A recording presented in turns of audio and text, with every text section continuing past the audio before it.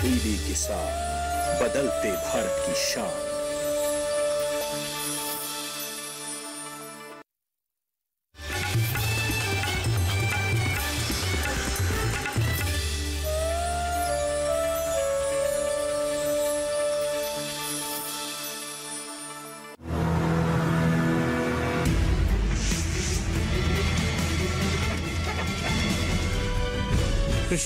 से आत्मनिर्भरता। इन्वेस्टमेंट छोटे शहरों में भी आए। आय को दुगना करने में सक्षम है।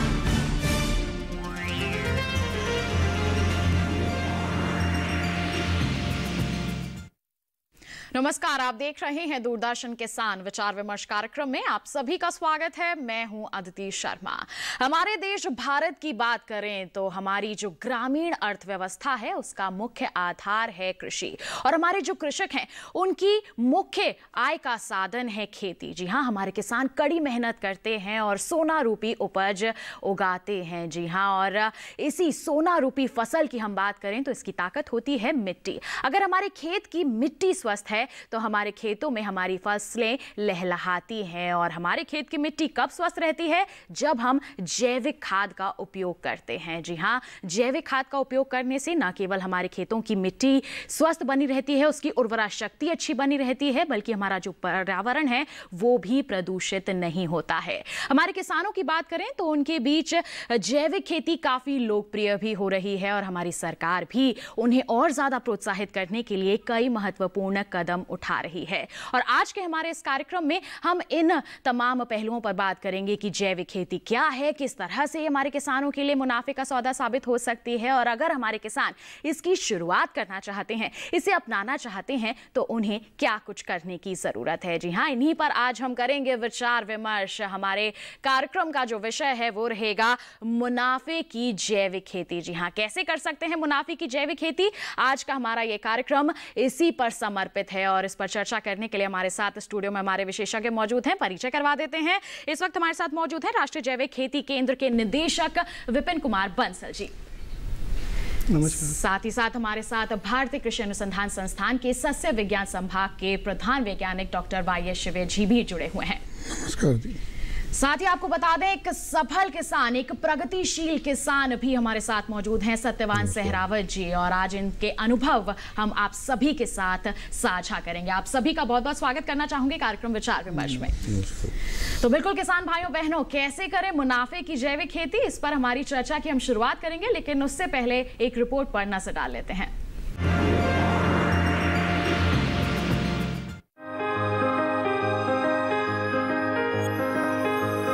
भारत में जैविक खेती पुराने समय से की जा रही है। पहले कृषि के साथ साथ गौ पालन किया जाता था। यानी कृषि और गौ पालन संयुक्त रूप से काफ़ी लाभदायी था। लेकिन बढ़ती जनसंख्या के कारण फ़सल उत्पादन बढ़ाने का दबाव बना, जिसके कारण रासायनिक खेती का चलन बढ़ गया। लेकिन अब एक बार फिर किसानों का रुझान जैविक खेती की ओर बढ़ा है। इतना ही नहीं सरकार भी जैविक खेती को बढ़ावा देने के लिए भरपूर सहयोग कर रही है। प्रधानमंत्री श्री नरेंद्र मोदी के नेतृत्व में सरकार ने जैविक खेती को बढ़ावा देने के लिए राष्ट्रीय स्तर पर अनेक योजनाएँ शुरू की हैं, जिनके वांछित परिणाम आने वाले वर्षों में भारतीय कृषि में दिखाई देने लगेंगे। जैविक खेती को ऑर्गेनिक फ़ार्मिंग या बायो फ़ार्मिंग भी कहा जाता है। जैविक खेती एक ऐसी पद्धति है जिसमें रासायनिक उर्वरकों, रासायनिक कीटनाशकों और रासायनिक खरपतवार नाशकों की बजाय जैविक खाद केचुआ खाद हरी खाद जीवाणुओं के टीके समेकित पोषक तत्व प्रबंधन समेकित कीट प्रबंधन और मिश्रित खेती के उपयोग पर ज़ोर दिया जाता है। जैविक खेती करने से न सिर्फ़ भूमि की उर्वरा शक्ति लंबे समय तक बनी रहती है बल्कि पर्यावरण भी प्रदूषित नहीं होता। साथ ही जैविक खेती करने से भूमि की जल धारण क्षमता भी बढ़ती है और भूमि से पानी का वाष्पीकरण भी कम होता है। इसके अलावा कृषि लागत घटने और उत्पाद की गुणवत्ता बढ़ने से किसान को अधिक लाभ भी मिलता है। इनके साथ ही जैविक खेती करने से रासायनिक खाद पर निर्भरता कम होने से लागत में कमी आती है। और फ़सलों की उत्पादकता में वृद्धि होती है। इसके अलावा देश में आज भी अधिकतर खेती बारिश पर ही निर्भर है और वर्षा आधारित क्षेत्रों में जैविक खेती और भी अधिक फ़ायदेमंद है। जैविक खेती के लिए भूमि में जीवांश जैसे गोबर की खाद, वर्मी कंपोस्ट, जैव उर्वरक और हरी खाद का उपयोग किया जाना आवश्यक है। जैविक खेती अपना कर किसान भूमि के शरण और दोहन को रोकने में योगदान दे सकते हैं। इससे न सिर्फ़ फ़सलों की उत्पादन लागत में कमी आएगी, बल्कि किसानों को फ़सलों का उचित मूल्य भी मिलेगा। इतना ही नहीं, जैविक खेती से वर्ष 2022 तक किसानों की आमदनी को दोगुना करने के लक्ष्य को पाना भी संभव हो सकेगा।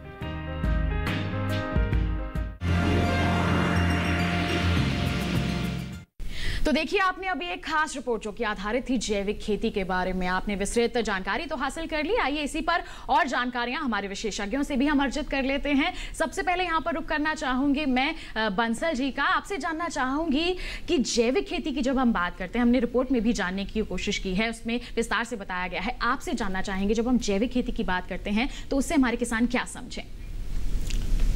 देखिए, जैविक खेती के बारे में अगर सरल सरल भाषा में मैं बताना चाहूँ तो जो भी खेती बिना रासायनिक खाद और कीटनाशकों के उपयोग से की जाती है, वो जैविक खेती है। और जैविक खेती को कई रूपों में हमारे किसान भाई लोग अपनाते हैं। कुछ एरिया में, कुछ जगह रीजन्स में इसको नेटिको फ़ार्मिंग बोलते हैं। कहीं ज़ीरो बजट नेचुरल फ़ार्मिंग का नाम दिया गया है इसको। कहीं परमा कल्चर कहीं वैदिक फ़ार्मिंग तो ये कई रूप हैं, लेकिन सबके मूल में एक ही चीज़ है। कि रासायनिक खादों और कीटनाशकों के उपयोग के बिना जो खेती की जाती है वो जैविक खेती है। जी तो कीटनाशकों और जो रासायनिक खादों के बिना खेती कर रहे हैं हमारे किसान उसे जैविक खेती कहते हैं। कई रूप हैं इसके। हमारे किसान इसे अपना सकते हैं और कई लाभ भी इससे अर्जित कर सकते हैं। क्या है इसके लाभ? जान लेते हैं। डॉक्टर शिवे यहाँ पर मौजूद है। डॉक्टर शिवे जैविक खेती के लाभ के बारे में आप क्या कहना चाहेंगे?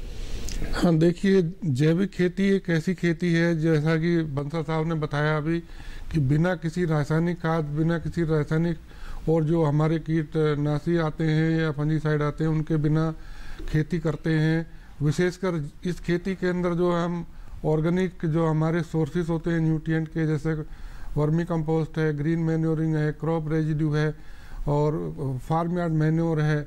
और इसके साथ साथ जो है, हम बहुत सारे ऐसे बिना ट्रीट किए हुए जिप्सम है या हम जो हमारा रॉक फॉस्फेट आता है उसको भी यूज़ कर सकते हैं। तो ऐसे या हमारे रॉक मिनरल फ्लोर है उनका भी यूज़ कर सकते हैं। तो इसके फ़ायदे जो हैं सबसे ज़्यादा ये हैं और इसके साथ साथ जो हमारे बायो फर्टिलाइजर्स हैं इनका भी इस्तेमाल इसके अंदर होता है। तो क्योंकि बायो फर्टिलाइज़र का इस्तेमाल होता है और बिना किसी उर्वरक की खेती की जाती है तो सबसे बड़ा जो फ़ायदा है इसका वो मृदा की उर्वरता शक्ति पे है। मृदा की उर्वरा शक्ति अच्छी होती है ऑर्गेनिक कार्बन कंटेंट बढ़ जाता है मिट्टी के अंदर पानी सोखने की क्षमता बढ़ जाती है और जो हमारे जीवाणु हैं जो भी जीवाणु मिट्टी के अंदर पाए जाते हैं जितने भी सूक्ष्म जीवाणु हैं चाहे हमारे माइक माइक्रोफ्लोरा है माइक मैक्रोफोना दोनों तरीके के माइक्रोफ्लोरा में हमारा बैक्टीरिया है फंजाई है एक्टिनोमाइसिटीज है या इसके साथ साथ जो है हमारे मैक्रोफोना में जैसे अर्थवर्म वगैरह है केंचुए वगैरह बहुत बढ़ जाते हैं। तो इस तरीके से मिट्टी की जो उर्वरता शक्ति है और वो जो तीनों तरीके की जो हमारी मिट्टी की जो परिस्थितियाँ होती हैं जैसे फ़िज़िकल है केमिकल बायोकेमिकल तो हमको सुधर जाती हैं और इसके साथ साथ जो है किसान जब इसको उगाते हैं तो जो उत्पाद पैदा होता है उत्पाद जो है हमारा उसके अंदर जो है किसी तरीके केमिकल रेजिड्यू नहीं रहता है। तो बाज़ार में उसका भाव अच्छा मिलता है और इसके साथ साथ जो भी खाने वाला है वो भी स्वस्थ रहता है और पर्यावरण को भी हमारा अच्छा रहता है। पर्यावरण विशेषकर जैसे मैं बताना चाहूँगा कि जो हमारी जैविक खेती है इसके अंदर जो है नाइट्रस ऑक्साइड और सल्फ़र डाइऑक्साइड का एमिशन भी कम होता है और मीथेन का एमिशन भी कम होता है। तो इस तरीके से हमारा पर्यावरण भी सुरक्षित रहता है मिट्टी भी सुरक्षित रहती है और जो पैदा करने वाले हैं उनको मुनाफा भी अच्छा होता है और दूसरे जो खाने वाले उपभोक्ता है हमारे तो उनको भी जो अच्छा खाद्य पदार्थ मिलता है। तो इस तरीके से जैविक खेती के बहुत सारे लाभ हैं। तो कुल मिलाकर हम कह सकते हैं कि जो हमारे किसान खेतों में मेहनत कर रहे हैं उनके लिए भी काफ़ी फ़ायदेमंद है। जो हमारे उपभोक्ता हमारी उपज का सेवन कर रहे हैं, उनके स्वास्थ्य के लिए भी काफ़ी अच्छी है। हमारी खेत की मिट्टी का स्वास्थ्य अच्छा बना रहता है और हमारा जो पर्यावरण है, वो भी प्रदूषित नहीं होता है। पर्यावरण के लिए भी बहुत अच्छी मानी जाती है जैविक खेती। तो कई तरह के लाभ हैं इसके। हमारे किसान इसे अपना भी रहे हैं और ऐसे ही किसान हमारे साथ इस वक्त स्टूडियो में भी मौजूद हैं। सत्यवान जी मौजूद हैं, जो जैविक खेती कर रहे हैं और उससे लाभान्वित भी हो रहे हैं। आज उनके अनुभव हम सभी के साथ साझा करेंगे ताकि बाकी जो हमारे किसान आज हमारा कार्यक्रम देख रहे हैं, वो भी उनसे प्रेरित हो सके। तो सत्यवान जी सबसे पहला प्रश्न तो आपसे यही रहेगा कि आपने जैविक खेती करने की कब सोची और क्यों सोची? जैविक खेती हम 2012 में कुरुक्षेत्र गुरुकुल में मैं गया था तो वहाँ पे एक प्रोग्राम था पालेकर जी का।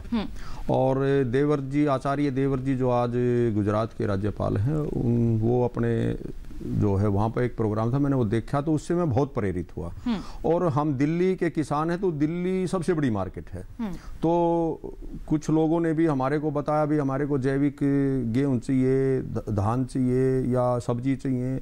तो इस तरह से जो ना फिर हमने आज आने वाला समय जैविक का ही है। और इसमें जो है जैविक खेती की परिभाषा अगर दो लाइन में कहें तो जीवों के लिए जीवाणुओं द्वारा प्राकृतिक घटकों की सहायता से की जाने वाली कृषि को ही जीवनदायिनी कृषि कहते हैं खेती कहते हैं। जी। और इससे हमने आज जो है हम जैसे अब प्याज लगाने लग रहे हैं। अभी से मेरे प्याज की बुकिंग पिछली बार सबको नहीं मिल पाया था। आज इन्होंने मेरा प्याज खा लिया। अब मेरे पास 25 गायें हैं।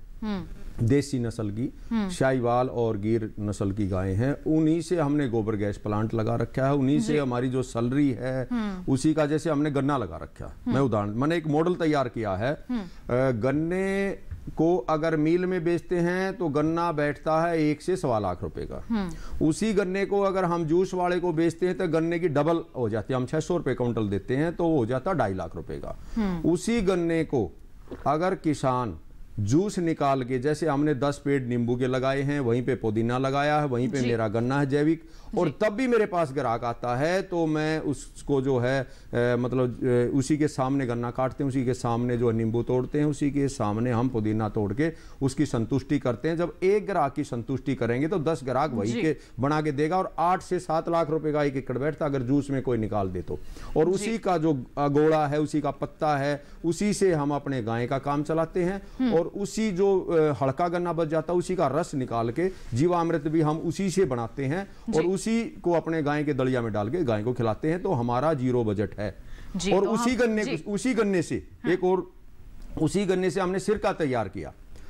एक क्विंटल गन्ने में लगभग 50 किलो रस निकलता है और उसी सिरके को हमने सौ रुपये लीटर अपने फार्म पे ही बेचा तो एक क्विंटल गन्ना हमने इस तरह से पाँच हज़ार रुपये का बेचा। इस तरह से किसान जो है ना उसमें अपनी आय दूनी क्या कई गुना भी कर सकता है। जी, जो हमारी सरकार का लक्ष्य है कि किसानों की आय दोगुनी हो जाए और इसको और भी ज़्यादा बढ़ाया जा सकता है। देखिए, सत्यवान जी, एक बहुत ही अच्छे उदाहरण हैं कि वो बता रहे हैं, अपना अनुभव साझा कर रहे हैं कि किस तरह से उन्होंने जैविक खेती को अपनाया है और ज़ीरो बजट फ़ार्मिंग यहाँ पर कर रहे हैं। लागत काफ़ी कम है और अच्छा मुनाफा अर्जित कर रहे हैं। आप लोग भी इस तरह अपने आपको इस ओर बढ़ा सकते हैं और अपने मुनाफे को काफ़ी बढ़ा सकते हैं। बिल्कुल बढ़ते हैं आगे जैसे बंसल जी सत्यवान जी खेती कर रहे हैं जैविक खेती कर रहे हैं उससे लाभान्वित हो रहे हैं। आपसे जानना चाहेंगे अगर हमारे देश भारत की बात करें तो कितने क्षेत्रफल में जैविक खेती कर रहे हैं हमारे किसान? देखिए आज की तारीख में अगर हमारे यहाँ दो तरह का सर्टिफिकेशन है।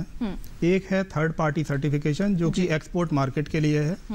और एक है पार्टिसिपेटरी गारंटी सिस्टम जो घरेलू मार्केट के लिए है। और दोनों सर्टिफिकेशन में हमारा करीब 28 लाख हेक्टेयर एरिया प्रमाणित है जैविक खेती में। जी। लेकिन अगर मैं क्षेत्रफल के हिसाब से एक परसेंटेज टर्म्स में बात करूँ तो खेती का जितना एरिया है देश में उसका करीब दो प्रतिशत एरिया जैविक खेती में प्रमाणीकरण में आ चुका है।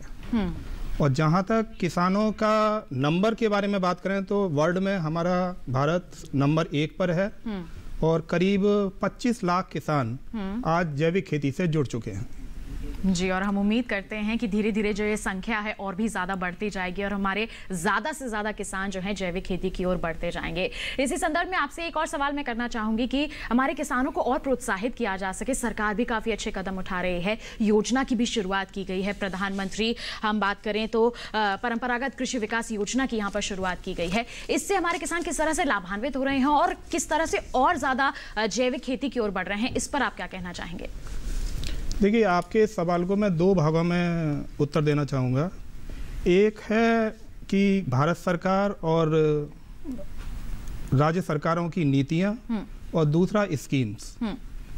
जहाँ तक भारत सरकार की एक नेशनल ऑर्गेनिक पॉलिसी है जिसके तहत ये लक्ष्य निर्धारित किया गया है कि आने वाले समय में 2025 तक 10 परसेंट एरिया खेती का एरिया जो है वो ऑर्गेनिक। दूसरा इसके साथ में 2017 में एक एग्रीकल्चर एक्सपोर्ट पॉलिसी आई थी और जिसमें ये प्रावधान किया गया कि जैविक उत्पाद का निर्यात में कोई भी किसी भी तरह का रेस्ट्रिक्शंस नहीं होगा। तो इससे जैविक उत्पादन या जैविक खेती की तरफ़ आगे बढ़ने में किसानों को काफ़ी मदद मिलेगी क्योंकि कभी कभी देश की खाद्य आपूर्ति करने के लिए कुछ रेस्ट्रिक्शंस लगे रहते हैं लेकिन एक्सपोर्ट में इस तरह का कोई भी रेस्ट्रिक्शंस गवर्नमेंट ने 2017 की पॉलिसी में हटा दिया था। इसी तरह से राज्य स्तर पर तेरह राज्य सरकारें हैं आज की डेट में जिन्होंने अपनी जैविक खेती की नीति निर्धारित कर दी है और बाकी राज्य भी इस ओर अग्रसर हैं। जहाँ तक स्कीम्स का सवाल है भारत सरकार की तीन चार योजनाएँ हैं जिसके माध्यम से किसान भाई लोग फ़ायदा उठा सकते हैं। जी। पहली उसमें स्कीम है परंपरागत कृषि विकास योजना। जी। परंपरागत कृषि विकास योजना तीन साल के लिए किसी किसान भाई को उससे फ़ायदा मिलता है। अगर मूल रूप में बताएँ तो इसमें चार पाँच कंपोनेंट हैं इस स्कीम के। एक है क्लस्टर फॉर्मेशन किया जाता है जिसमें 20 किसानों का समूह बनाया जाता है और 20 किसानों के समूह से इस तरह से 25 जो समूह होते हैं उनके ऊपर एक एफपीओ या एक बड़ा क्लस्टर बनाया जाता है। दूसरा है सर्टिफिकेशन क्योंकि अ, बिना सर्टिफिकेशन के लिए जैविक उत्पाद का सही रेट मिलना थोड़ा किसान के लिए मुश्किल होता है तो उसके सर्टिफिकेशन का उसमें एक प्रावधान है। और सबसे बड़ा जो साठ परसेंट से ज़्यादा जो प्रावधान है, वो है डायरेक्ट बेनिफिट ट्रांसफ़र के द्वारा ऑर्गेनिक इनपुट खरीदने के लिए और organic input infrastructure on farm बनाने के लिए किसान को दिया जाता है। तो इसमें पूरे तीन सालों में पचास हज़ार रुपये प्रति हेक्टेयर के हिसाब से किसानों को लाभ मिलता है। जी। दूसरी जो स्कीम है वो है mission organic value chain for north eastern region. वो सारे भारत देश में नहीं है बट नॉर्थ ईस्टर्न एरिया में चूँकि काफ़ी एरिया डिफ़ॉल्ट ऑर्गेनिक एरिया है तो वहाँ पर मार्केटिंग और वैल्यू एडिशन को बढ़ावा देने के लिए इस स्कीम का शुभारंभ 2016 में किया गया। जी। उसके अलावा अभी रिसेंटली इसमें कुछ और स्कीम ऐड की गई है जैसे भारतीय प्राकृतिक कृषि पद्धति योजना जिसमें सर्टिफिकेशन को बहुत ज़्यादा और वैल्यू एडिशन और मार्केटिंग को हम प्रोत्साहन दे रहे हैं। और उसके साथ ही साथ में जो सर्टिफिकेशन की कुछ एरिया जो डिफ़ॉल्ट ऑर्गेनिक एरिया हैं उनको भी हम सर्टिफिकेशन के फोल्ड में लाने के लिए और किसानों को मदद पहुँचाने के लिए ये सारी योजनाएँ जो हैं किसानों को जैविक खेती में अग्रसर करने के लिए बहुत फ़ायदेमंद होती हैं। जी तो सरकार की ये जो पहल है, सरकार के जो ये प्रयास हैं, हम कह सकते हैं कि हमारे किसानों के लिए काफ़ी फ़ायदेमंद साबित हो सकते हैं। किसानों को जैविक खेती से जोड़ने में काफ़ी कारगर भी साबित हो रहे हैं और आगे भी हमारे किसानों को ऐसे ही फ़ायदा पहुंचाते रहेंगे। लेकिन जैविक खेती जब हमारे किसान करना चाहते हैं, उसकी शुरुआत करना चाहते हैं तो उससे पहले ज़रूरी हो जाता है कि उसके बारे में थोड़ी बहुत जानकारी ज़रूर अर्जित कर लें। तो ऐसे में डॉक्टर शिवे जानना चाहेंगे, जैविक खेती की शुरुआत करने से पहले हमारे किसानों को किस तरह की तैयारी करने की ज़रूरत होती है? हाँ देखिए कोई भी जैसे मतलब हम किसानों को प्रोत्साहन कर रहे हैं कि जैविक खेती पे करिए आप जैविक खेती जाइए परंपरागत खेती को छोड़ के। तो उसके लिए सबसे पहले ये ज़रूरी होता है जो भी उनका कृषि विज्ञान केंद्र नज़दीकी है या कोई भी कृषि विश्वविद्यालय या कोई भी संस्थान है आईसीआर का वहाँ से या जैसे कि नेशनल सेंटर बने हुए हैं हमारे पूरे भारत देश में वहाँ से जाकर जानकारी ले सकते हैं। और सबसे ज़्यादा ज़रूरी ये है कि यदि किसानों में जिज्ञासा बढ़ती है तो जानकारी का आजकल अभाव नहीं है। कहीं से भी जानकारी ली जा सकती है। पत्र पत्रकार पत्र पत्रकारिता से भी ली जा सकती है। जो हमारे लेख प्रसारित होते हैं चाहे वो न्यूज़पेपर में है चाहे मैगजीन के अंदर है उनसे भी ली जा सकती है।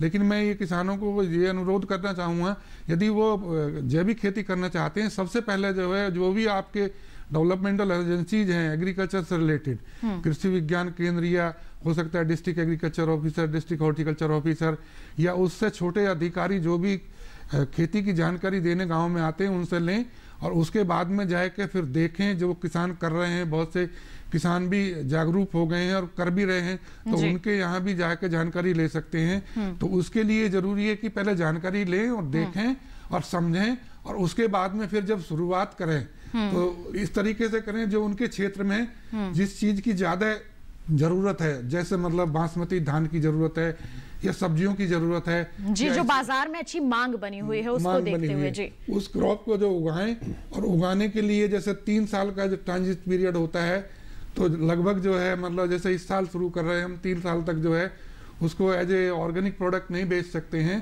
तो उसको जो है वैसे ही मार्केट में बेचें लेकिन जो भी उसके नियामक बनाए हुए गए हैं। जो भी हमारे हमारे लिए जो है स्टैंडर्ड्स बनाए गए होते हैं, उनको फॉलो करने की ज़रूरत होती है कि कितना जो है डिस्टेंस मेंटेन करना है, परंपरागत खेती से ऑर्गेनिक खेती के बीच में कितनी दूरी होनी चाहिए, और उसके साथ साथ जो है कौन कौन से हमें इनपुट यूज़ करने हैं न्यूट्रिय मैनेजमेंट के लिए, या इसके साथ साथ जो है हमको कौन सी फ़सल, जैसे कि मैं बताना चाहूँगा, जैसे कि बहुत सी जो है फ़सल, हमारी जो जैसे धान की बात लें धान में जैसे बासमती धान में बहुत अच्छा मुनाफा किसान कमा सकते हैं। जो अधिक पैदावार देने वाली किस्में हैं, उनकी डिमांड ऑर्गेनिक की इतनी नहीं है जितनी बासमती की है। तो इस तरीके से ये चीज़ को ध्यान को रखते हुए उसी किस्म को चुने और चुनने चुनने के बाद में फिर उसकी जो सस्य क्रियाएँ हैं जो ऑर्गेनिक पद्धति से जैविक पद्धति से बताई गई हैं उन्हीं को फॉलो करने की कोशिश करें। तो इस तरीके से किसी भी मतलब फ़सल को लाने से पहले समझने की ज़रूरत है मार्केट को समझने की ज़रूरत है और उसके बाद जो है फिर जो सस्य क्रियाएँ हैं हमारी उनको अपनाने की ज़रूरत है ताकि जो आपको अच्छी पैदावार मिल सके और बाद में फिर सर्टिफिकेशन भी कराएँ अपनी फ़सल का ताकि जो है आप अपने देश में भी बेच सके और बाहर एक्सपोर्ट भी कर सके। तो इस तरीके से जो है जानकारी आप आजकल हर जगह मतलब जगह जगह जो है इंफॉर्मेशन दी जा रही है। टेलीविज़न के माध्यम से भी दी जा रही है रेडियो के माध्यम से भी दी जा रही है। तो मैं यही कहना चाहूँगा किसानों को किसान भाई आप आगे आइए और जैविक खेती को अपनाइए जानकारी इकट्ठा करिए समझिए और उसको आगे बढ़ा के कोशिश करें। अच्छा जो खाद्यान्न उत्पादन करें जिनकी डिमांड है उनको दें उपभोक्ता को। जी, बिल्कुल। हमारे किसानों को थोड़ा बहुत यहाँ पर और जागरूक होना पड़ेगा और जैसे ही आप जैविक खेती अपनाएँगे, अगर किसी तरह की आपको समस्या भी आती है तो कृषि वैज्ञानिक मौजूद हैं आपकी समस्याओं का समाधान आप तक पहुँचाने के लिए और कई हमारे किसान भाई बहन ऐसे हैं जो जैविक खेती को अपनाए हुए हैं आप उनका भी रुख कर सकते हैं। सत्यवान जी भी एक बहुत बड़ा उदाहरण है कि वो जैविक खेती को अपना करके इतना अच्छा मुनाफा अर्जित कर रहे हैं। सत्यवान जी, आपसे जानना चाहेंगे, आपने किस तरह की तैयारियाँ की थी जब आप जैविक खेती की ओर अपने कदम बढ़ाए थे आपने। देखिए जैसे डॉक्टर साहब ने बताया कि सर्टिफिकेशन बहुत ज़रूरी है लेकिन उससे ज़्यादा ज़रूरी किसान को विश्वास ग्राहक को विश्वास में लेना और भी ज़रूरी है। एक ग्राहक को विश्वास होना चाहिए भी बिल्कुल प्योर है। जैसे डॉक्टर साहब ने बताया कि किसान खगई जाना खगई की भाषा। किसान किसान की भाषा को अच्छी तरह समझता है तो उन्होंने जो किसान अच्छा कर रहे हैं उनके पास जाना चाहिए। वहाँ से कुछ जो कमियाँ हैं किस तरह से उन्होंने हमने जैसे त्रुटियाँ पहले झेल ली हैं तो वो उनसे अच्छी तरह से समझ सकता है। तो वहाँ पे बिल्कुल ठीक कहा डॉक्टर साहब ने। वहाँ एक जो मॉडल तैयार किया किसान ने उसके पास जाके ट्रेनिंग या एक दो दिन वहाँ रहे देखे किस तरह से क्या हो रहा है। एक तो ये। और जब अगर दो लाइन में कहूँ तो मैं कहूँगा कि धरती बलवान तो किसान धनवान। पहले अपने ज़मीन का स्वास्थ्य ठीक करना पड़ेगा उसमें कार्बन बढ़ाना पड़ेगा जीवाणुओं की मात्रा उसमें जो हमने कई बार जो है पूसा से भी हम लेके आए हैं चाहे रजोक्टोवेक्टर है या और भी जो जीवाणु हैं ट्राइकोडर्मा है सुडोमिनास है या वेम है और भी जो कल्चर हैं तो वो ले करके हमने पहले ज़मीन को जीवित करना पड़ेगा जो हमने ज़मीन केमिकल से बिल्कुल जीवाणु को मार दिया। अब जो ज़मीन हमारे यहाँ इसमें जो है खेत में अब इतने केंचुए आ जाते हैं बारिश होती है तब और एक घंटे में मेरे खेत का पानी सारा ज़मीन के पेट में चला जाता है क्योंकि केंचुआ ज़्यादा होने से उसमें बहुत ज़्यादा जो है होल हैं और उसमें नमी भी खत्म नहीं होती कार्बन अच्छा ज़मीन का। तो इसमें जो है किसान जो है पहले ज़मीन का स्वास्थ्य ठीक करे। उसके साथ साथ मैं कहता हूँ मार्केटिंग। मार्केटिंग जब तक किसान ने कस्सी उठाई है किसान नहीं बचेगा किसान ने तराजू भी उठानी पड़ेगी। क्योंकि तराजू उठाने वाला दो घंटे में डबल करता है। किसान को वही प्रोजेक्ट छह महीने लग जाते हैं और मौसम की मार भी झेलनी पड़ती है। तो क्यों ना वो खाने वाला और किसान आमने सामने होगा तो दोनों को फ़ायदा होगा। तो बिल्कुल हमारे किसानों के लिए जैविक खेती काफ़ी फ़ायदेमंद साबित हो सकती है, लेकिन आपको थोड़ी बहुत तैयारियाँ यहाँ पर करने की ज़रूरत है, जिसका ज़िक्र अभी हमारे प्रगतिशील किसान सत्यवान जी ने यहाँ पर किया है। और ऐसी ही जानकारियाँ हमारे विशेषज्ञों से हम अर्जित करते रहेंगे। चर्चा को आगे बढ़ाएँगे, लेकिन एक छोटे से ब्रेक के बाद कई मज़ा ये देखते रहिए हमारा कार्यक्रम विचार विमर्श और बने रहिए दूरदर्शन किसान पर।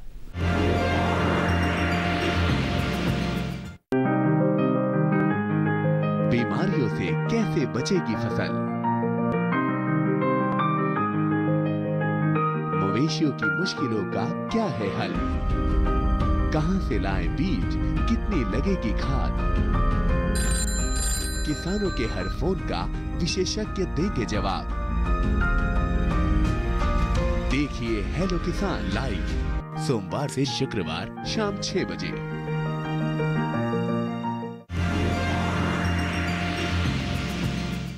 ब्रेक के बाद दूरदर्शन किसान के खास कार्यक्रम विचार विमर्श में आप सभी का फिर से स्वागत है। आज हम मच चर्चा कर रहे हैं मुनाफे की जैविक खेती के बारे में। जी हाँ जैविक खेती अपनाकर हमारे किसान अपना मुनाफा किस तरह से बढ़ा सकते हैं, इस पर आज हम विस्तृत चर्चा कर रहे हैं। अपनी चर्चा को आगे बढ़ाएँगे, लेकिन उससे पहले आइए एक और खास रिपोर्ट पर नज़र।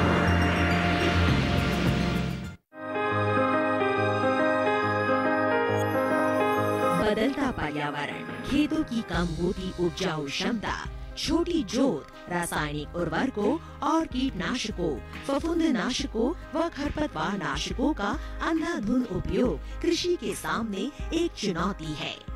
उपभोक्ताओं के बीच खाद्य पदार्थों को लेकर जागरूकता और स्वास्थ्य के उच्च मापदंडों ने लोगों को जैविक खाद्य पदार्थों की तरफ़ आकर्षित किया है।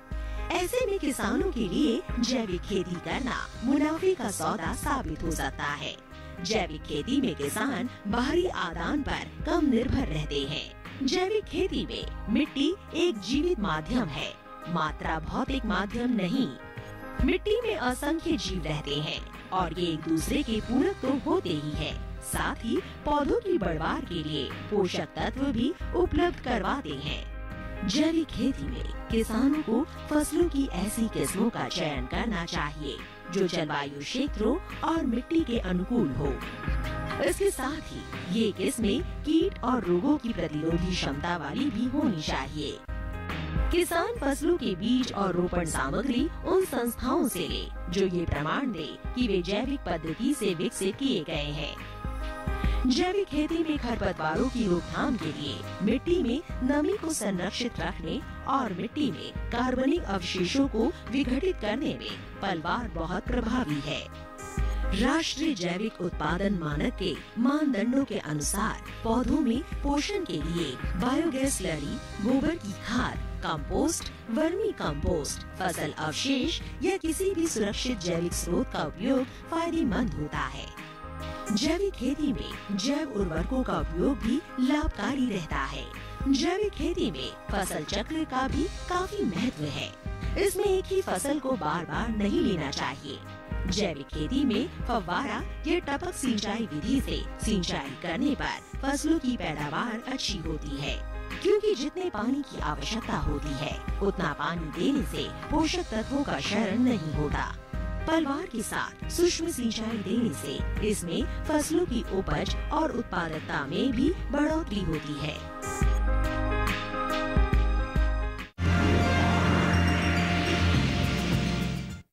तो देखिए, अभी आपने एक और खास रिपोर्ट। है इसी के साथ हमारी चर्चा को आगे बढ़ाते हैं और हम यहाँ पर मैं रुक करना चाहूँगी बंसल जी का। बंसल जी जब हम बात करते हैं जैविक खेती की, कई तरह की तैयारियाँ यहाँ पर करने की ज़रूरत हो जाती है हमारे किसानों को और हमारे ऐसे में कृषि जो वैज्ञानिक हैं, जो आपका केंद्र है, उसकी भी भूमिका काफ़ी अहम हो जाती है कि हमारे किसानों को और भी ज़्यादा जागरूक किया जा सके। तो आपके केंद्र की अगर हम बात करें तो किस तरह के प्रशिक्षण कार्यक्रम आयोजित किया जाते हैं हमारे किसानों को और भी ज़्यादा प्रोत्साहित करने के लिए? देखिए राष्ट्रीय जैविक खेती केंद्र की जो एक्टिविटीज़ हैं उसके बारे में थोड़ा सा मैं प्रकाश डालना चाहूँगा किसान भाइयों को जागरूक कराना चाहूँगा इसके बारे में।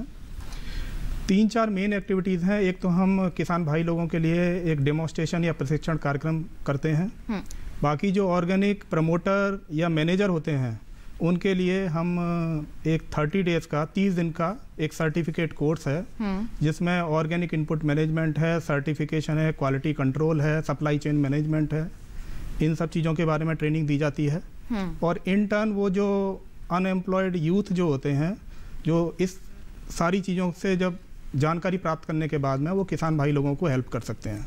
कि सर्टिफिकेशन में किस तरह से काम किया जाता है क्वालिटी कंट्रोल किस तरह से किया जाता है और ऑर्गेनिक इनपुट मैनेजमेंट किस तरह से किया जाता है। हम्म, उसके साथ ही साथ में हमारा सेंटर जो है वो बायो फर्टिलाइजर्स और ऑर्गेनिक फर्टिलाइजर्स जो फर्टिलाइज़र कंट्रोल ऑर्डर में हैं हम्म, उनके क्वालिटी उनकी गुणवत्ता को चेक करने के लिए भी काम करता है उसकी लैब जी। जहाँ तक आपने किसानों के प्रशिक्षण या हमारे तरफ़ से किसानों को जो जैविक खेती करने के लिए बहुत सारे जो किसान भाई लोग अपने फार्म लेवल पे ही इनपुट बना सकते हैं। जैसे कि जीवामृत जैसे हमारे प्रगतिशील किसान भाई लोग बात कर रहे थे। जीवामृत है बीजामृत है नीमास्त्र है हम्म, वर्मी कंपोस्ट है नाडिब कंपोस्ट है और सर्टिफिकेशन की क्या प्रोसेस है। तो उसके लिए हमने किसान भाइयों की सहायता के लिए एक जैविक खेती सहायक पुस्तिका हिंदी में और इंग्लिश में।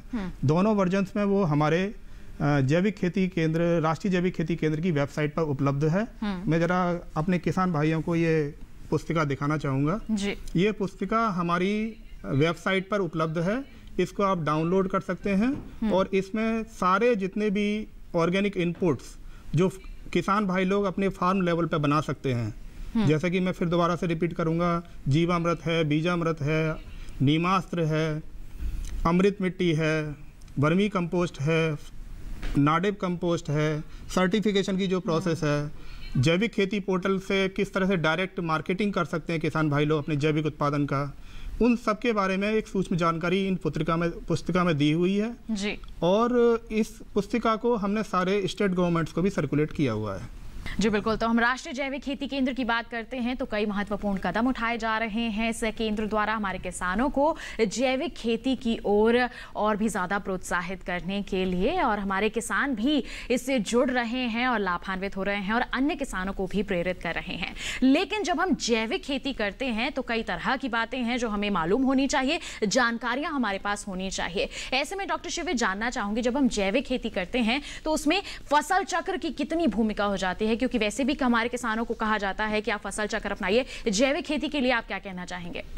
हाँ देखिए फ़सल चक्र बहुत ही ज़रूरी है हमारे लिए। चाहे वो परंपरागत खेती है चाहे जैविक खेती है। जैविक खेती में उसका और भी महत्व तो बढ़ जाता है। जैसे कि हम मतलब कहते हैं कि कोई भी जो है हमारा अनाज वाली फ़सल है उसके बाद जो हमको दाल वाली फ़सल लेनी चाहिए। या हम सब्ज़ी उगा रहे हैं सब्ज़ी उगाने के बाद में कोई ऐसी फ़सल लें जिसमें कम पानी की ज़रूरत पड़े। तो इस तरीके से हमको फ़सल चक्र अपनाने की ज़रूरत पड़ती है। और ये भी है इसके साथ साथ फ़सल चक्र के साथ साथ इंटर क्रॉपिंग जो हम कहते हैं मिश्रित खेती वो भी हमको करनी चाहिए। एक लाइन कुछ लाइनों में जैसे हम उदाहरण के लिए कहते हैं कि आप जो है गेहूँ की चार लाइन लगाइए एक चने की लाइन लगा दीजिए। तो इस तरीके से मिश्रित खेती या आप जो है चार लाइन गेहूँ की लगाइए एक लाइन जो है आप सरसों की लगा दीजिए और आलू की जो है तीन लाइन लगा दीजिए एक लाइन जो है आप सरसों की लगा दीजिए। इस तरीके से इंटर क्रॉपिंग मिक्स क्रॉपिंग भी करते हैं और फ़सल चक्र का अपनाने की ज़रूरत पड़ती है। और ऐसा फ़सल चक्र अपनाएँ जिसमें जो है कम से कम एक दाल वाली फ़सल ज़रूर हो हमारे फ़सल चक्र के अंदर। उदाहरण के लिए जैसे बहुत से किसान भाई बहन जो है बासमती धान की खेती करना चाहते हैं ऑर्गेनिक तरीके से। तो बासमती धान के बाद में जो है हम इस तरीके से फ़सल को लें जैसे बासमती धान हमने काटा तो हम जो चना ले लें मसूर ले लें मटर ले लें इस तरीके से फ़सल को लगाएँ। या ऐसा ना करें गेहूँ धान गेहूँ का फ़सल चक्कर अपनाएँ। क्योंकि गेहूँ धान गेहूँ का फ़सल चक्र अपनाएँगे तो हमारी की मिट्टी की उर्वरता शक्ति जो है उतनी मेंटेन नहीं होगी। उसके अंदर जो है या फिर ऐसा भी कर सकते हैं यदि हम धान गेहूँ का फ़सल चक्र ही अपनाना चाहते हैं तो उसमें जो है हमको इस चीज़ का ध्यान रखने की ज़रूरत है। जो हमारा समय बचता है गेहूँ काटने के बाद में उसमें मूंग ज़रूर लगाएँ या ढैंचा ज़रूर लगाएँ या उसके बाद में जो सनई ज़रूर लगाएँ या कावपी लगाएँ या हम्म, हमारी दूसरी जो भी और टेप्रोशिया वगैरह होती है ऐसी फ़सलें होती हैं जो नाइट्रोजन फिक्स करती हैं वो लगाएँ ताकि हम जो है मिट्टी की उर्वरता शक्ति बढ़ाने के लिए कोई एक जो कम अवधि वाली किस्म है उसको लगा सके और उसको मिट्टी के अंदर ही मिला सके फलियाँ तोड़ने के बाद में जैसे मूंग की फलियाँ तोड़ लें या काउप की फलियाँ तोड़ लें बचाया उससे इस मिट्टी के अंदर ही मिला दें।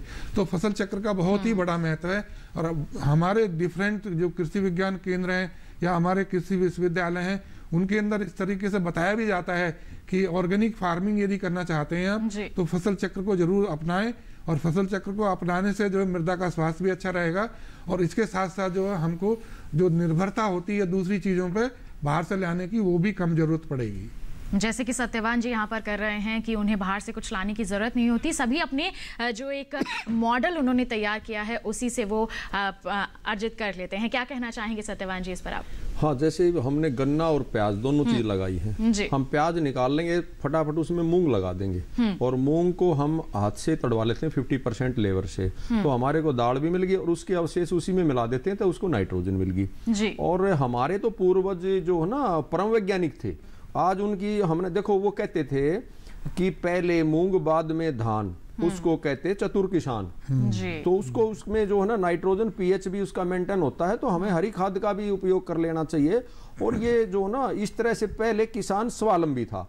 किसान तब बाज़ार में जाता था जब उसको लोहा और नमक दो चीज़ उसके पास नहीं थी नहीं तो कपड़े भी हम हाथ से अपने चरखे से काट के और गन्ना गुड़ सब्ज़ी दूध सब कुछ हमारा अपना होता था। तो किसान स्वावलंबी था। आज परावलंबी हो गया क्योंकि बीज कंपनियाँ पहले उसकी जेब काट लेती हैं। अब मेरा बीज से लेकर लास्ट तक मेरा अपना काम है। नर्सरी मेरी अपनी है बीज मेरा अपना है मार्केट मेरी अपनी है तो तभी किसान बचेगा जब ये सारी चीज़ खुद की होंगी। जी बिल्कुल। तो देखिए बहुत ही अच्छी बात यहाँ पर कही है कि हमारे किसान स्वावलंबी हों। शुरुआत से लेकर अंत तक हर जो अ, कदम होता है पूरी जो प्रक्रिया होती है वो हमारे खेतों से ही हमें मिल सकती है और हमारे जो किसान भाई हैं वो इस तरीके को अपनाकर अच्छी आमदनी भी अर्जित कर रहे हैं आप भी कर सकते हैं। बस आपको यहाँ पर जागरूक होने की ज़रूरत है और उस जागरूकता को हमारे विशेषज्ञ आप तक ज़रूर फैला रहे हैं। बढ़ते हैं आगे। बंसल जी आपसे जानना चाहेंगे कि जैसे डॉक्टर शिविर ने कहा कि फ़सल चक्र अपनाना बहुत ज़रूरी है। सत्यवान जी ने कहा कि अपने खेत से ही हम खाद अपने खेतों में डालें और तमाम बीज वगैरह जो है वो खेतों से ही तैयार कर लें। लेकिन कई किसान ऐसे हैं जो अपने खेतों में ऐसा नहीं करते हैं। तो ऐसे में किस तरह के बीज लें किस तरह की किस्में लें जब जैविक खेती कर रहे हैं इस पर आप क्या कहना चाहेंगे? देखिए जैविक खेती में जो किस्में किस तरह की फ़सल हम उगा सकते हैं उसके बारे में मैं कहना चाहूँगा कि एग्रो क्लाइमेटिक जोन जिस रीजन में आपका एरिया आता है उसमें चाहे जैविक खेती हो या कन्वेंशनल फ़ार्मिंग हो जो कन्वेंशनल फ़ार्मिंग में जिस तरह के फ़सल उगाई जा सकती है वही फ़सल आप जैविक खेती में भी ले सकते हैं। जी। लेकिन जिस तरह से कि डॉक्टर साहब ने बोला कि जैविक खेती में फ़सल चक्र का बहुत बड़ा योगदान है तो मैं तो ये कहूँगा कि जो पहली फ़सल के अवशेष जो होते हैं वो दूसरी फ़सल के लिए खाना होते हैं। तो क्या हम कह सकते हैं जैसे कि आज के समय की बहुत बड़ी समस्या है पराली प्रबंधन ना लोग उसे जला देते हैं। अगर उसे खेत में ही वो मिला दें तो ये और भी ज़्यादा हमारी खेत की मिट्टी के लिए फ़ायदेमंद होगा। बिल्कुल आपने सही कहा कि जो पराली वगैरह को जो जलाने की जो समस्या है अगर किसान भाई लोग उसी को वहीं काट के और अगर खेत में ही मिला दें या उसको मल्चिंग की तरह से इस्तेमाल करें तो कम पानी में और ज़्यादा फ़सल उगाई जा सकती है। और जो न्यूट्रिएंट रिसाइकल होना चाहिए जैविक खेती में वो भी उसमें हो पाएगा। जी। साथ ही साथ में अगर उसके अपघटन का रेट बढ़ाना है तो उसमें कुछ आप इनोकुलम या कुछ जीवाणु जो है उसमें डाल सकते हैं। जैसे कि आ, हमारा पूसा इंस्टीट्यूट ने एक वेस्ट डिकम्पोजर बनाया है उसको भी डाल सकते हैं उसमें। और साथ ही साथ में जैसे जीवामृत और बीजा मैंने बताया आपको जीवामृत। तो जीवामृत का भी इस्तेमाल करने से उसका डिकम्पोजिशन रेट बढ़ जाता है। तो किसान भाई लोग इन सब जो लोकल फॉर्मुलेशंस हैं इनका यूज़ करके और उसको फ़सल अवशेष को वहीं की वहीं इस्तेमाल किया जा सकता है। मैं इसमें थोड़ा सा जोड़ना चाहूँगा चाहूँगा। बिल्कुल बताएँ। मैं जोड़ना चाहूँगा जैसे फ़सल अवशेष है। देखिए पोटास की जो है नब्बे प्रतिशत मात्रा लगभग ये समझ लीजिए अस्सी से नब्बे प्रतिशत हमारे जो अवशेष के अंदर ही रहती है। और यदि हम मिट्टी के अंदर उसको मिलाएँगे रखेंगे तो हमें जो पोटास की अलग से देने की ज़रूरत पड़ती है वो नहीं पड़ती। तो जितने भी अवशेष हैं यदि हम मिट्टी के अंदर ही रखें उनको मिलाएँ जैसा कि बंसल साहब ने बताया है तो हमारी जो निर्भरता है दूसरे जो पोषक तत्वों को बाहर से लाने की ऑर्गेनिक फ़ार्मिंग के अंदर भी जैविक खेती के अंदर भी वो कम हो जाएगी। ये बहुत ही ज़रूरी है और आजकल जो है सेलुलोटिक डिकम्पोजिंग बैक्टीरिया फंजाई और उनके कॉम्बिनेशन बायोफिल्म माइक्रो कंसोर्टिया भी आ रहे हैं जो बहुत जल्दी बायोडिग्रेड करते हैं। तो उस तरीके से उनको भी डालें और जिस तरीके से डालने की जो पद्धति बताई जाती है उसी के अनुसार डालेंगे तो जल्दी अच्छा डिकम्पोजिशन होगा किसी भी रेजिड्यू का। और ये एक पोषक तत्व प्रबंधन- प्रबंधन की एक जो प्रणाली भी है ऑर्गेनिक खेती के अंदर जैविक खेती के अंदर कि जो भी रेसिड्यू है हम उसको रिसाइकिल करें बाहर ना लेकर जाएँ। चाहे पशुओं को खिलाएँ और पशुओं की गोबर की खाद फिर मिट्टी के अंदर डालें चाहे खेत के अंदर ही जो चॉप करके उसको जो मिलाएँ या ऊपर डालें तो इस तरीके से जो पोषक तत्व प्रबंधन में भी हमारा अवशेषों का बहुत बड़ा महत्व है और इसका विशेषकर जैविक खेती में और भी बढ़ जाता है। जी बिल्कुल जो हमारे खेतों के अवशेष हैं उनको हम जैविक खेती में बहुत बेहतर तरीके से उपयोग में ला सकते हैं और अपनी लागत भी यहाँ पर काफ़ी हद तक कम कर सकते हैं। सत्यवान जी आप क्या कहना चाहेंगे इस संदर्भ में?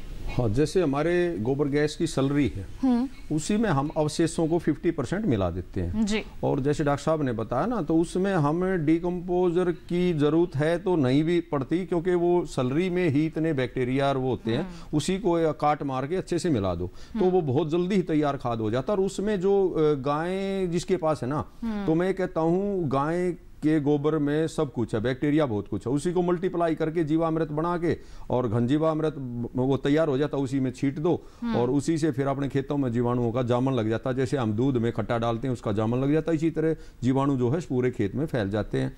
और जैसे डॉक्टर साहब ने बिल्कुल ठीक कहा कि फ़सल चक्कर फ़सल चक्कर मैं तीन या चार साल में गेहूँ बोता हूँ। जिस खेत में हमने अब अब की बार मटर लगा रखी है अगली बार उसमें प्याज लगाऊँगा। उसके बाद मैं फिर मैं उसमें गेहूँ बोगा था। हर्बी साइड की ज़रूरत ही नहीं पड़ती क्योंकि खरपतवार उसमें होती है नहीं। ये सबसे बड़ी जो ना समस्या है खरपतवार की।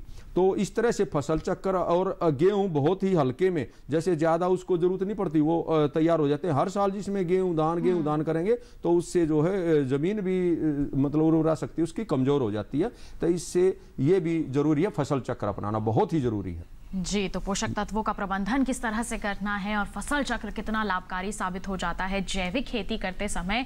ये अभी हमारे जो प्रगतिशील किसान हैं, उन्होंने इसके बारे में जानकारी दी। इसके साथ बढ़ते हैं। बंसल जी, जानना चाहेंगे जैविक खादों की हम बात कर रहे हैं यहाँ पर, जैसे गोबर की खाद हो गई। पोषक तत्वों का अगर हम प्रबंधन अपने खेत में ही कर देते हैं तो वो भी एक खाद के रूप में तैयार हो जाता है। कौन कौन सी जैविक खाद हैं जो हमारे किसान इस्तेमाल कर सकते हैं और उन्हें तैयार करने के लिए क्या तरीके अपनाने चाहिए? देखिए जैसे मैंने आपको किसान भाई लोगों को पहले अपने वक्तव्य में बताया जैविक खाद में आपका वर्मी कंपोस्ट है जैसे केंचुआ खाद जिसको बोलते हैं नाडिप कंपोस्ट है फार्म यार्ड मेन्योर है। और फिर उसके बाद में एक जो फास्फोरस की जिसमें कमी होती है तो फॉस्फेट रिच ऑर्गेनिक मेन्योर भी किसान भाई लोग अपने लेवल पे बना सकते हैं। जी। उसके साथ ही साथ में जैसे मैंने पहले भी कहा है कि जीवामृत जो गाय के गोबर गाय के मूत्र और गुड़ से बहुत सारी चीज़ें जो है गाय आधारित खेती आप मान सकते हैं कि जैविक खेती कुछ हद, बहुत हद तक गाय पर आधारित है। जी। तो अगर आप देसी गाय का गोबर गाय मूत्र और गुड़ और दाल का आटा इन सबको मिश्र करके जीवामृत बीजामृत है आपका पंचगव्य है अमृत माटी है अमृत पानी है नीमास्त्र है तो ये सारे आप उनको जैविक खाद और जैविक कीटनाशक की तरह से इन चीज़ों को भी इस्तेमाल कर सकते हैं और किसान भाई लोग इनको अपने लेवल पे बना सकते हैं। जी। इनके बनाने की विधि के बारे में जहाँ तक सवाल है मैंने आपको बताया है कि हमारे राष्ट्रीय जैविक खेती केंद्र से हमने जैविक खेती सहायक पुस्तिका एक निकाली हुई है और जिसमें इन सब लोकल फॉर्मुलेशंस को बनाने का तरीका भी दिया गया है। हम्म। इसके साथ ही साथ में मैं एक और चीज़ यहाँ पर ऐड करना चाहूँगा कि हमारे देश में अभी एक रिसेंटली 2017 में central institute of post harvest engineering and technology Ludhiana ने एक स्टडी की थी और उसमें ये पता चला था कि 67 मतलब सड़सठ मिलियन टन फ़ूड वेस्ट होता है हमारे देश में हर साल। जी। और अगर ये 67 मिलियन टन को हम जैविक खाद में अगर कन्वर्ट कर पाएँगे हम्म। तो इससे जैविक खेती की तरफ़ हमारे और किसान इससे जुड़ जाएँगे और इसको हम कहते हैं कि हम वेस्ट टू वेल्थ हम्म। और इसके भी वही तरीके हैं जैसे कि आप कहीं पर भी इसको कंपोस्टिंग के तरीके अपनाएँ और ये सारा जितना वेस्टेज है आपका ये इसमें जैविक खाद में कन्वर्ट हो जाएगा। इसके साथ ही साथ में जो जैविक उर्वरक हैं उसमें जैसे हमारे डॉक्टर साहब ने पहले भी इस पर बात कहा है कि राइजोबियम है अजेटोवेक्टर है फॉस्फेट सोलोलाइजिंग बैक्टीरिया है पोटास मोबिलाइजिंग बैक्टीरिया है। तो ये सारे जैविक उर्वरक भी आ, किसान भाई लोग अपने खेत में क्योंकि रास- अ, जैविक रासायनिक खादों के ज़्यादा इस्तेमाल से हमारे मिट्टी में जो जीवाणुओं की संख्या है वो बहुत ना के बराबर हो गई है। तो उनको भी इंट्रोड्यूस करने की ज़रूरत है जिससे कि मिट्टी जो है वो जीवित हो जाए और उसमें जो न्यूट्रिएंट रिसाइकलिंग होती है उसकी वो साइकिल जैसे नाइट्रोजन फिक्सेशन साइकिल है कार्बन कंटेंट बढ़ना है ऑर्गेनिक कार्बन कंटेंट वो सब भी बढ़ेगा और मिट्टी जो है जब स्वस्थ होगी तो आपकी उत्पादकता भी जैविक खेती में काफ़ी अच्छी आएगी। जी तो कहते हैं ना, स्वस्थ धरा तो खेत हरा। जी हाँ हमारी अगर खेतों की मिट्टी यहाँ पर अच्छी होगी तो हमारी जो उपज है वो भी काफ़ी अच्छी गुणवत्ता वाली हमें अर्जित हो सकती है और उसका अच्छा दाम भी हम कमा सकते हैं। और ऐसे में जैसे कि बंसल जी ने अभी ज़िक्र किया कि हमारे जो पशुपालक हैं वो तो जैविक खेती की ओर बढ़ ही सकते हैं। गौपालन आप कर रहे हैं, गोबर है आपके पास, उसकी खाद तैयार कीजिए, उसके कई उत्पाद आप तैयार कर सकते हैं जैविक खेती को आप बहुत ही कम लागत में शुरू करके इसे अपने लिए काफ़ी मुनाफे का सौदा बना सकते हैं। इसमें जैसे कि सत्यवान जी ने कहा था कि जब जैविक खेती वो करते हैं तो खरपतवार बिल्कुल नहीं होती है। कीट और रोग के बारे में यहाँ पर डॉक्टर शिवे जानना चाहूँगी। कीट और रोग के बारे में क्या कहें? किस तरह से प्रबंधन किया जाता है जैविक खेती करते समय? क्योंकि हम रसायनों का इस्तेमाल तो यहाँ पर कर नहीं रहे हैं। हाँ देखिए, सबसे बड़ी बात यह है कि कीट और बीमारियाँ आती हैं लेकिन इतनी नहीं आती हैं जैविक खेती के अंदर जितनी जो परंपरागत खेती के अंदर आती हैं। हम पिछले करीब जो है पंद्रह सोलह साल से धान गेहूँ की फ़सल चक्र की खेती कर रहे हैं। पूसा संस्थान में ऑर्गेनिक तरीके से और उसमें हम जो है ग्रीन मैन्यूरिंग के लिए ढांचा भी लगाते हैं। तो हमने ये देखा कि जो हमारी बासमती धान जो हम ऑर्गेनिकली करते हैं उसके अंदर जो हमारे जो मित्र कीट हैं मित्र कीट जैसे हमारे स्पाइडर वगैरह मकड़ी वगैरह हैं वो ज़्यादा होती हैं और जो भी हमारे जो वैसे कीट आते हैं जैसे हमारा बोरर वगैरह है या हमारा दूसरे और कीड़े आते हैं तो उनको खा लेती हैं उनको मतलब बढ़ने नहीं देती हैं। तो इस तरीके से जो हमारे मित्र कीट हैं उनकी संख्या ज़्यादा होती है और इकोलॉजी मेंटेन रहती है तो कीड़ों की जो जो हमारे हार्मफुल कीड़े हैं उनकी संख्या कम होती है। उनको जो। बढ़ने ही नहीं देती है वो जो मित्र कीट होते हैं। तो इस तरीके से यदि फिर भी मतलब आ जाते हैं तो फ़सल चक्र अपनाएँगे तो तब भी नहीं आएँगे। क्योंकि हम लगातार किसी फ़सल को जैसे अभी सत्यमान जी ने बताया था कि मतलब भाई हम जो है अ, अभी हमने जो है प्याज लगा रखी है प्याज के बाद में हम मूंग लगाएँगे। इस तरीके से फ़सल चक्र अपनाते हैं। तो उस तरीके से जो एक तरीके के इंसेक्ट पेस्ट होते हैं वो नई मिट्टी के अंदर रहते हैं और दो उनका साइकिल जो ब्रेक हो जाती है ऑर्गेनिक का फंडामेंटली ये है कि हम फ़सल चक्र अपनाएँ ताकि हमारे कीड़े मकोड़े बीमारियाँ कम आए। हाँ। यदि आती हैं बीमारियाँ तो उनके लिए जैसे नीम ऑयल वगैरह है उसका इस्तेमाल करके नियंत्रित कर सकते हैं या नीम की खली है अ, या नीम की निबोलियाँ होती हैं उनको इकट्ठा करके पीस के और उनको फिर उबाल के तो डाल सकते हैं। और और बहुत से फॉर्मुलेशन आते हैं। सीट ट्रीटमेंट वगैरह जो ट्राइकोडर्मा से जो ज़रूर करें सीड ट्रीटमेंट जो है तो बीमारियाँ कम आती हैं जो भी हमारी मिट्टी बिल्कुल तो जैविक खेती अपनाने का एक फ़ायदा ये भी हम कह सकते हैं। कि रोग और कीट काफ़ी कम रहते हैं और उससे हमारी जो दवाओं का खर्च है वो तो बिल्कुल खत्म ही हो जाता है बिल्कुल। इसमें हमारे दोनों और विशेषज्ञों की राय हम शामिल करेंगे लेकिन एक छोटे से ब्रेक के बाद आप कहीं मत जाइए देखते रहिए हमारा कार्यक्रम विचार विमर्श और बने रहिए दूरदर्शन किसान पर। ये कामयाबी है अन्नदाता की। ये कहानी है खेत और खलिहानों की। कैसे करें अपने पशुओं की देखभाल? जानिए गांव-गांव के किसानों का हाल। देखिए गाँव किसान, सोमवार से शुक्रवार दोपहर 12 बजे। सिर्फ़ डीडी किसान पर। ब्रेक के बाद आप सभी का फिर से स्वागत है। हमारे खास कार्यक्रम विचार विमर्श में आज हम चर्चा कर रहे हैं मुनाफे की जैविक खेती के बारे में। जी हाँ जैविक खेती अपनाकर हमारे किसान कैसे अपना मुनाफा बढ़ा सकते हैं, इस पर आज हम चर्चा कर रहे हैं। ब्रेक पर जाने से पहले हम बात कर रहे थे कि जैविक खेती में कीट और रोगों की आने की जो संभावना है काफ़ी कम हो जाती है, जिससे हमारे किसानों की लागत में काफ़ी कमी आ जाती है। इस पर हमारे प्रगतिशील किसान की हम राय ले लेते हैं। क्या कहेंगे आप? जो जैविक खेती करते हैं तो कीट भी जैविक होता है। उसको चिड़िया और जो पक्षी हैं वो चाव से खाते हैं। और केमिकल वाले कीट को नहीं खाते। उसके अंदर एक वो पावर बना लेता है वो हड़के जहर से मरता भी नहीं। हम जब जैविक में जाते हैं तो निमास्तर ब्रह्मास्तर अग्निस्तर से ही उसको कंट्रोल कर लेते हैं। और मैं जैविक में जो भाई करना चाहते हैं या कर रहे हैं उससे एक सलाह और दूँगा वो सीजनल ही करें।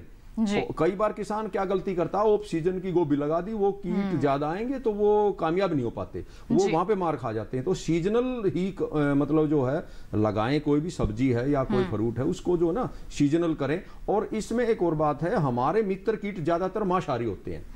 और जब मित्र कीट हम जब केमिकल से करते थे तो हमारी समझ में आया जो मित्र कीट है वो ऊपर रहते हैं पत्तों के।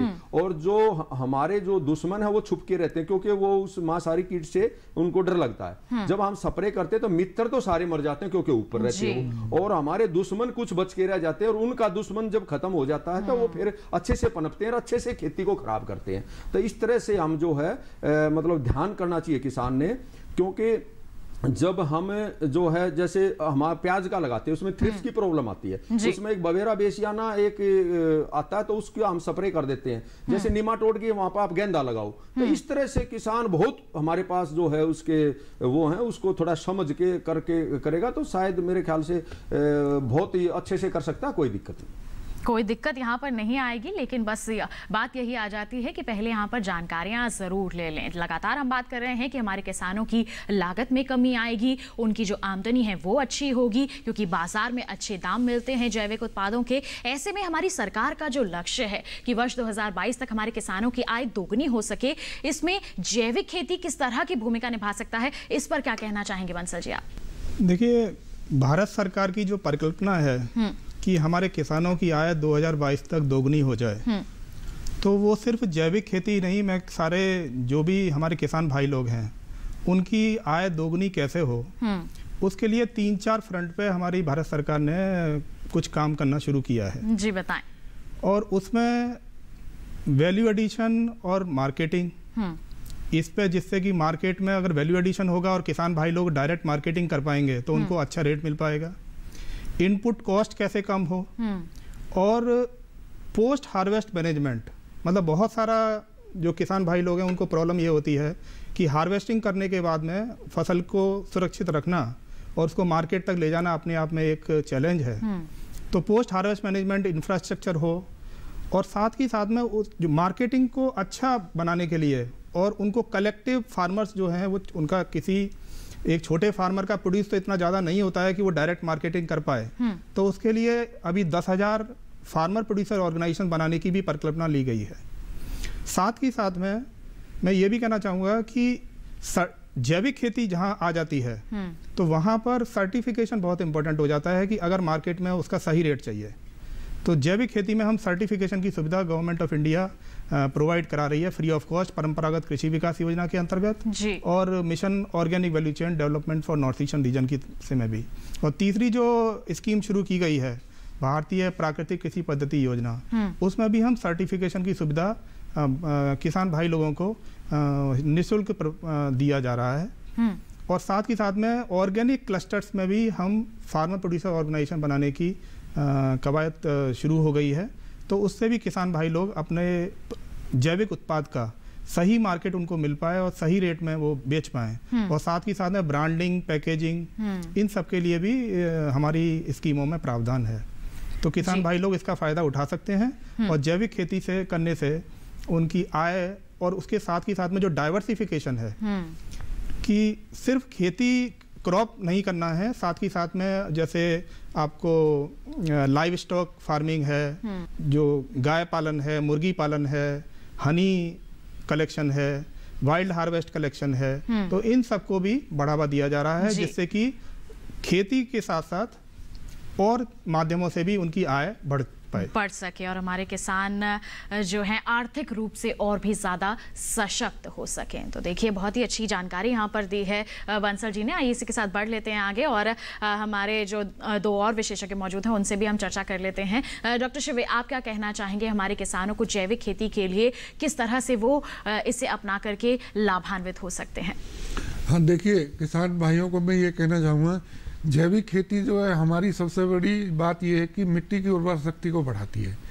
तो यदि मिट्टी की स्वस्थ रहेगी तो हमारा पैदावार भी अच्छा होगी और इसके साथ साथ जो है हमारा उनका जो लागत आती है किसानों की वो भी कम हो जाएगी क्योंकि वो बाज़ार पे कम निर्भित निर्भर रहेंगे बाहर से नहीं लाएँगे क्योंकि जो भी हमारी ऑर्गेनिक फ़ार्मिंग है या हम जैविक खेती कहते हैं वो ये कहते हैं कि जो हमारे उपलब्ध संसाधन फार्म पे ही हैं उन्हीं से चलनी चाहिए उन्हीं से होनी चाहिए। चाहे हम गाय पालें चाहे हम जो हम्म। मुर्गी पालन करें बत्तख पालन करें या हम जो फ़सल उगाएँ फ़सल उगाने के साथ साथ जो है हम या हम सब्ज़ी उगाएँ चाहे हम गेंदे गेंदा हम्म। उगाएँ चाहे और दूसरे उत्पाद उगाने हनी भी वगैरह तो हम ये कहते हैं ऑर्गेनिक फ़ार्मिंग जो है आने वाले समय के लिए बहुत ही अच्छी पद्धति है।